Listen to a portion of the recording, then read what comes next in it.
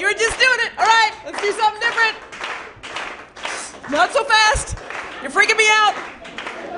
Well, come on, get it. Audience participation now.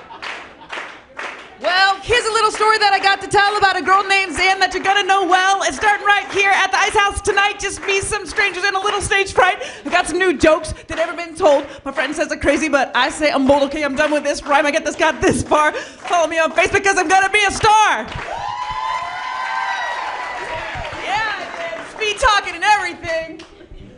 That's hard to think that fast. Never do that again.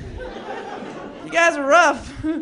The alternate ending in my head was uh, after this, I need to ride home because I don't have a car. Which is sad but true. I know.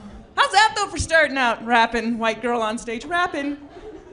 Edgy for 1986.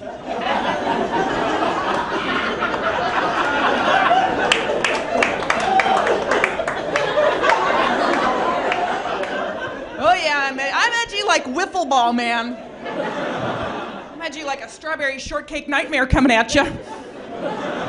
Oh yeah, edgy like a Care Bear on crack. I'm gonna hug you to death.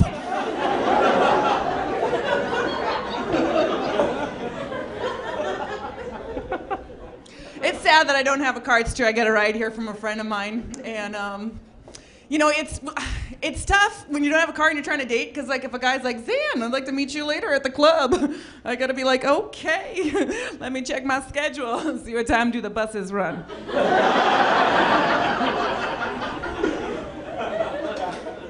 it's not very attractive. I have a hard time dating because I'm I get defensive really easy in this like for example this one guy goes, "Hey Zan, I'd like to see what you look like with long hair and a short skirt." I was like, "Yeah, well I'd like to see what you look like with two less kids and a job." I'm kidding, I didn't really say that. Cuz he never called back. no, but he he did turn me down on Facebook because I can pick them. Yeah, he sent me a little message that said, "I don't think we're gonna have a second date," and uh, and this was this was the pretty punch in the face. He goes, "Oh, because you're just intimidatingly smart." Oh, intimidating! Isn't that great? Now uh, the race to become my mother's officially on. Thanks, intimidating. Well, I, I like to learn from my mistakes, though, and on that one, I learned that on a first date, I should never ever say macrocosmic, archetypal, or fractal.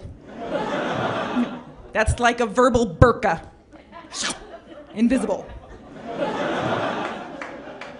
However, I did learn that, whoops, hun, ouchie, my bra's too tight. That works.